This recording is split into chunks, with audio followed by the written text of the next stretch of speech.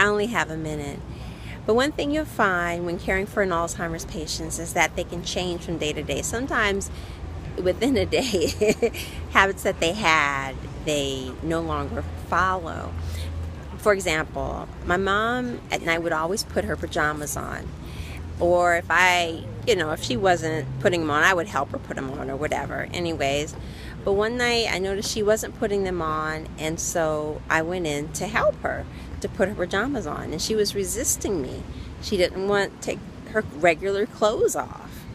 And I was in distress. I'm like, oh no, what do I do? She's not putting pajamas on. So I called my friend whose mother also had Alzheimer's, and she says, sleep is more important.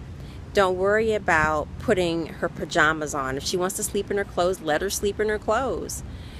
And that's what I did when caring for someone, you have to be flexible and not demanding in certain instances. So if you ever run into that situation, let them sleep in clothes.